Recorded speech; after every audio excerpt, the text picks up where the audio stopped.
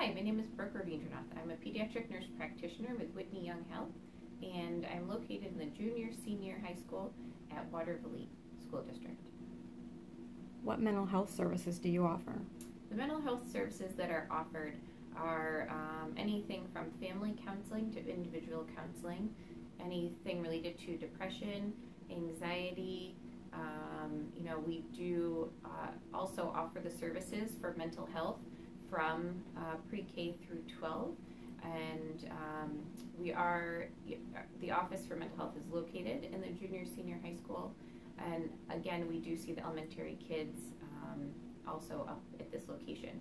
There is no fee for any services whether they're offered in the clinic or through mental health. When you are enrolled with whitney young there are no copays. And if you ever do receive a bill um, you you know just contact us and we will